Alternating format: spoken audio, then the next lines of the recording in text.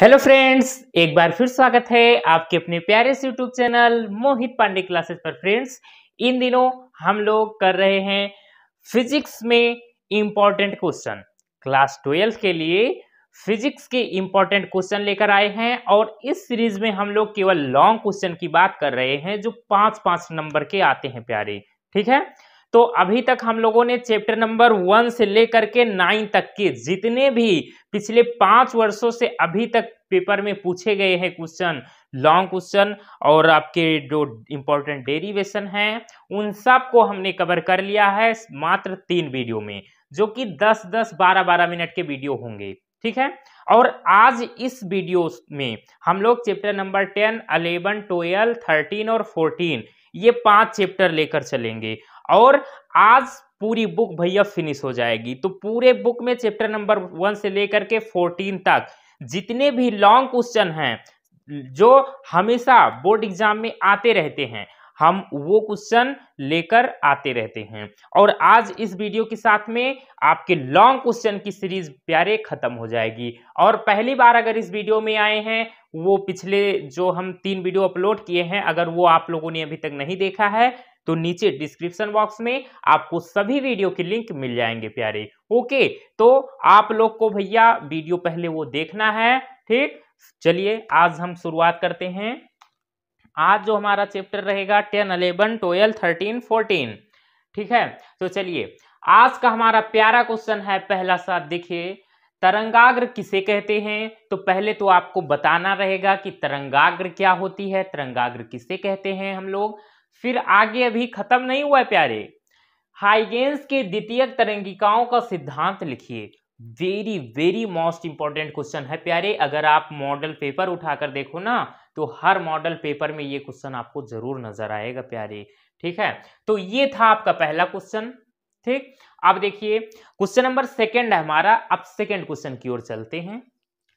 Young के द्विछिरी प्रयोग बनाने वाली फ्रिंजों की चौड़ाई के लिए W बराबर डी लैमडा अपॉन डी का निगमन कीजिए। बहुत ही इंपॉर्टेंट क्वेश्चन है प्यारे। फ्रिंजों की चौड़ाई का ये आपका बहुत ही इंपॉर्टेंट क्वेश्चन है, इसको हल्के में मत लेना प्यारे।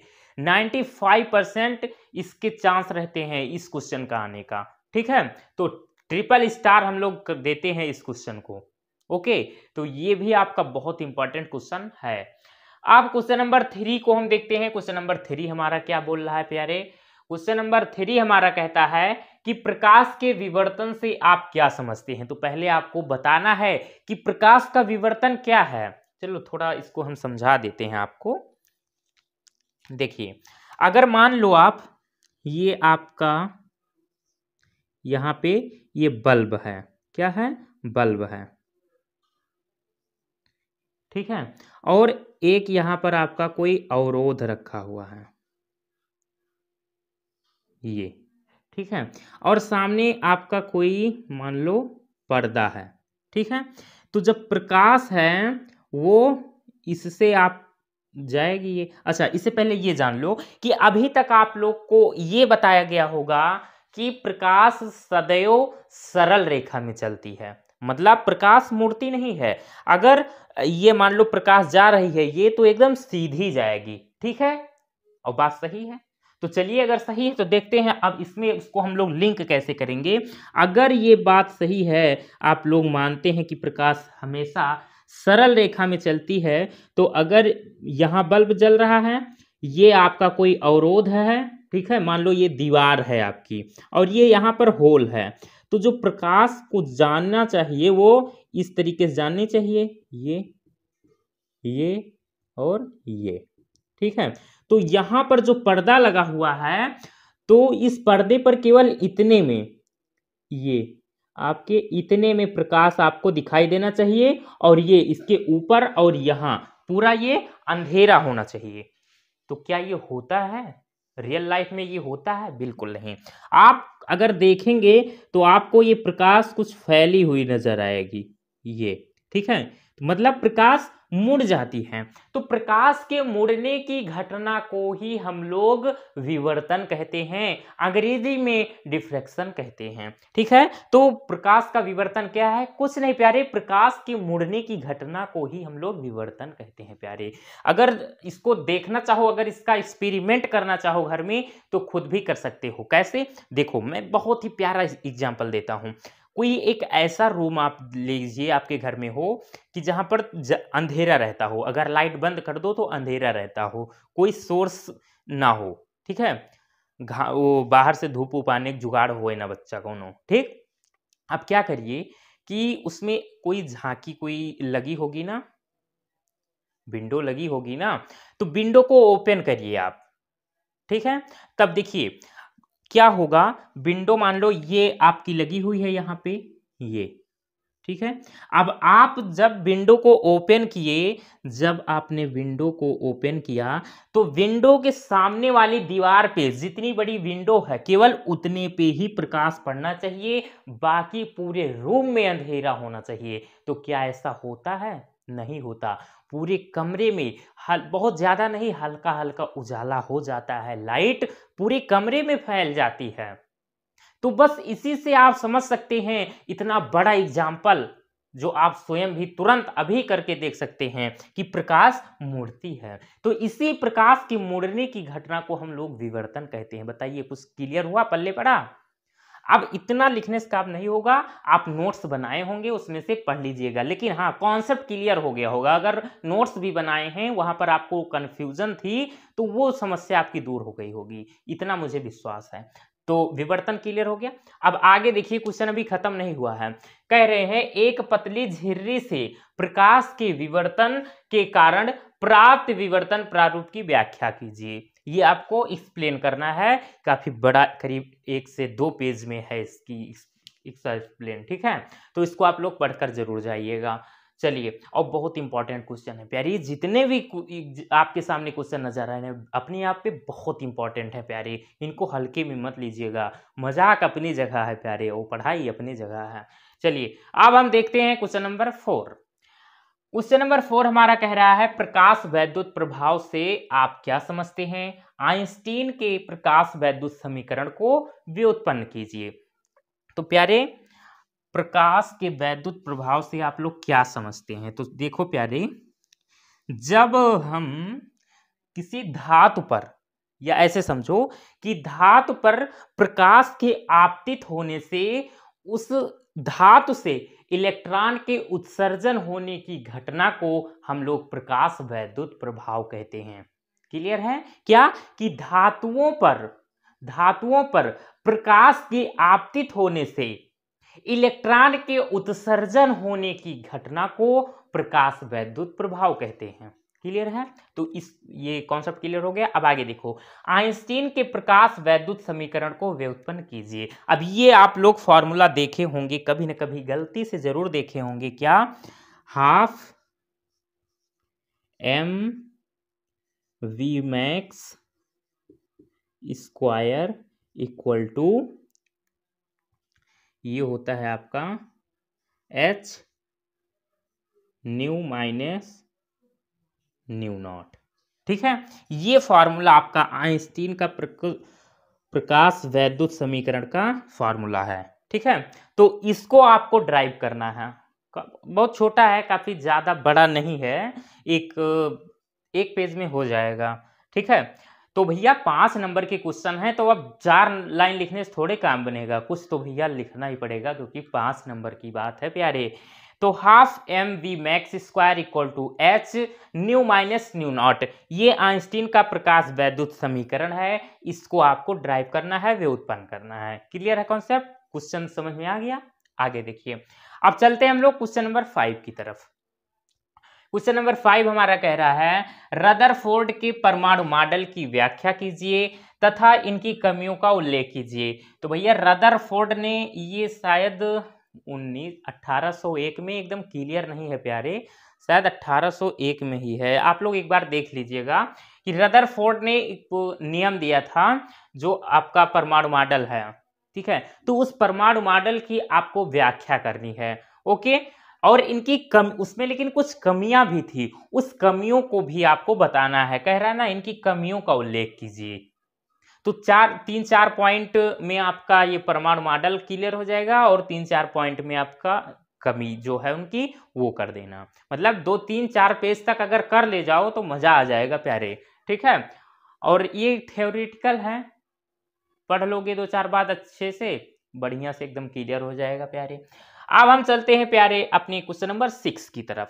कह रहा है, हाइड्रोजन परमाणु के लिए ऊर्जा स्तर आरेख खींचिए तथा स्पेक्ट्रमी रेखाओं की लाइमन, बामर तथा पाश्चन श्रेणियों की उत्पत्ति कीजिए। भैया, बहुत इंपॉर्टेंट क्वेश्चन है, बहुत बहुत बहुत इंपॉर्टेंट है प्यारी। ठीक है? तो देखिए, ये आपकी पाँच श्रेणियाँ होती हैं, लाइमर, बामर पाश्चन और ब्रैकेट और लास्ट पांचवी होती है फुंड श्रेणी। तो इन पाँचों श्रेणी को आप लोग पढ़कर जाएँगे। यहाँ पर हमने केवल तीन ही लिखी, लेकिन आपको ब्रैकेट और फुंड इन श्रेणियों को भी पढ़कर जाना है। और 95 प्लस परसेंट चांस है इस क्वेश्चन को आने का। ठीक है? अब देखिए, इनका जो फॉर्मूला आता है वो क्या है? जैसे इनकी उत्पत्ति को समझाइए। तो पूरा हम जो थ्योरी है उसको एक्सप्लेन नहीं करेंगे यहाँ पे। ठीक है? लेकिन थोड़ा हिंट दे दे रहा हूँ। इनका फार्मूला आता है आपका one upon lambda equal to R one upon one square minus one upon N square ठीक है? ये फॉर्मूला होता है किसका? लाइमन श्रेणी का।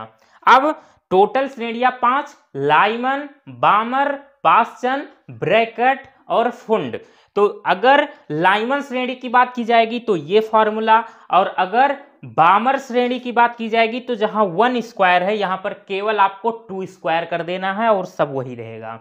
अगर पाश्चन की बात आएगी तो पाश्चन में जहाँ पर वन का स्क्वायर है, वहाँ थ्री का स्क्वायर हो जाएगा। ब्रैकेट की बात आएगी तो यहाँ पर केवल फोर का स्क्वायर कर देना। और लास्ट में अगर फुंड श्रेणी की बात आएगी तो जहाँ पे वन का स्क्वायर है, वहाँ फाइव का स्क्वायर कर देना। बाकी फॉर्मूला सेम।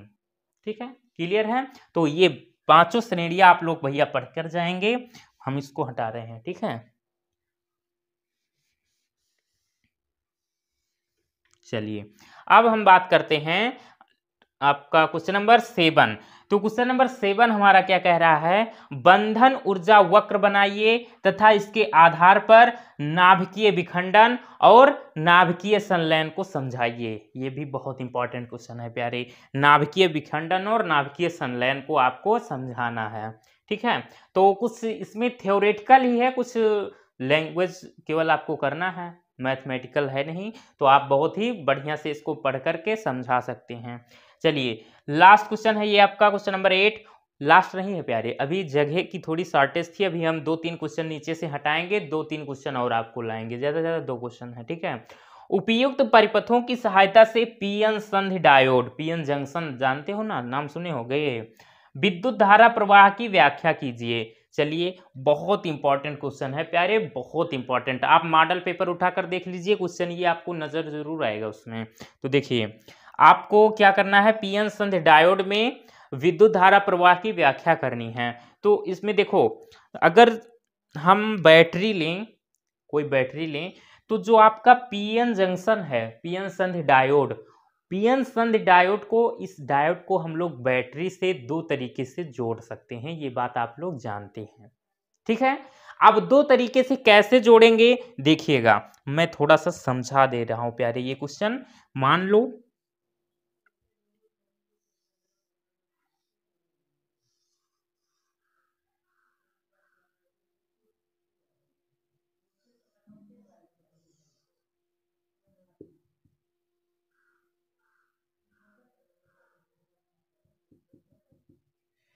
ये है आपका पी टाइप ये है आपका एन टाइप और पी टाइप में भैया मेजोरिटी किसकी होती है? मेजोरिटी मतलब अधिकता होल्स की. हिंदी में कहते हैं कोटर ठीक है? कोटर कोटर का भैया इसमें मेजोरिटी चार्ज और इसमें इलेक्ट्रॉन मेजोरिटी कौन होता है भैया इसमें? ओ भैया, यहाँ पर भैया, आपका ध्यान कहाँ है सर? ये क्या कर रहे हो भैया? इसमें इलेक्ट्रॉन होते हैं, इसको डॉट डॉट से। ठीक है? ये आपका पी टाइप और ये एन टाइप, और ये है आपका पीएन जंक्शन। क्या है? P N junction. P N, ये पीएन जंक्शन होता है। ठीक है? अब अगर हम इसको देखें तो पी हमारा क्या होता है?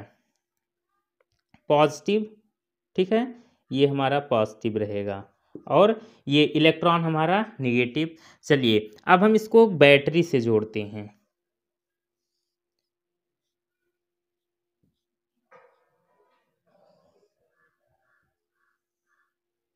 ये, और बैटरी में ये आपका प्लस है, ये माइनस है। ठीक है? तो देखिएगा, अब दो तरीके से कैसे जुड़ेगा। ये आपका पीएन जंक्शन है, ठीक? P N junction diode P N संधि डायोड ठीक है?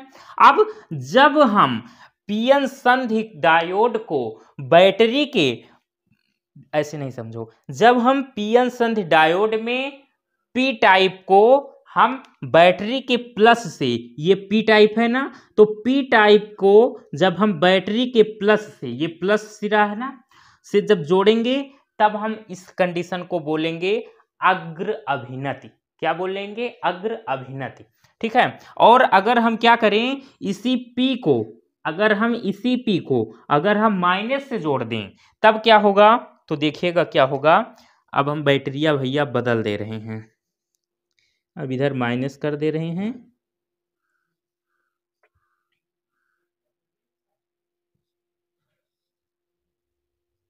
ये माइनस हो रही है, प्लस। जब पी टाइप को बैटरी के माइनस से या ऋणात्मक सिरा से जब हम जोड़ेंगे, तब इस कंडीशन को हम लोग पश्च अभिनत कहते हैं। बस इन दोनों का आप लोग ऐसे फिगर बनाना, नोट्स बनाए होंगे ना? बस मैं केवल थोड़ा सा हिंट दे रहा हूँ। इनका आप लोग फिगर बनाएँगे और बढ़िया से इसको एक्सप्लेन कर देंगे। पूरा पाँच का पाँच नंबर पे हो बच्चा। पूरा पाँच का पाँच पे हो प्यारे। तो ये आपके आठ क्वेश्चन कंप्लीट हुए। अब इनका आप लोग अगर लेना चाहो तो स्क्रीनशॉट ले लो। फिर हम नीचे से दो तीन क्वेश्चन को भैया यहाँ से हटाएँगे और एक दो क्वेश्चन और बचे हुए हैं, हम उनको लेकर आ रहे हैं। ठीक है? जा रहे हैं बुलाने। भैया गुस्सा हो गए हैं, तब तक आप इनका स्क्रीनशॉट लो।